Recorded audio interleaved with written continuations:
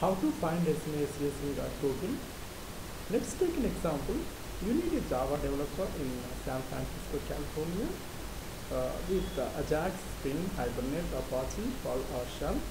Copy all these and paste in a Google search bar.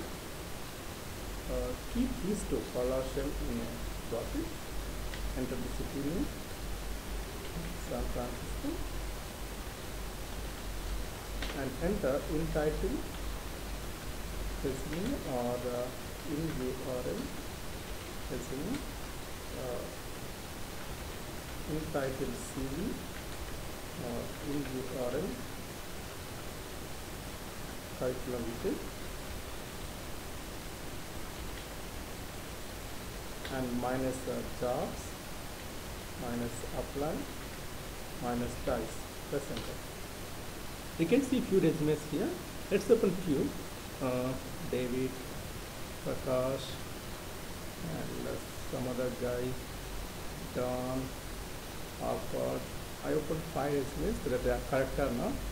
Uh, let's see David he is from San Francisco. Uh, close and Prakash Ranjan he is from California. You can see here uh, Java server Hibernate Oracle close and uh, David Paul. You can see Java Servlets, Java Spring, Hibernate.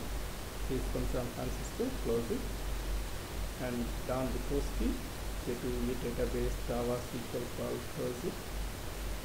And Apar Kovacs, he's from Garden Grove, California. You can see his skills, uh, Apache Tomcat, J2EE, JSP, close it. So simply I use here, I'm just copying all the skills here and pasting in a Word document to understand better.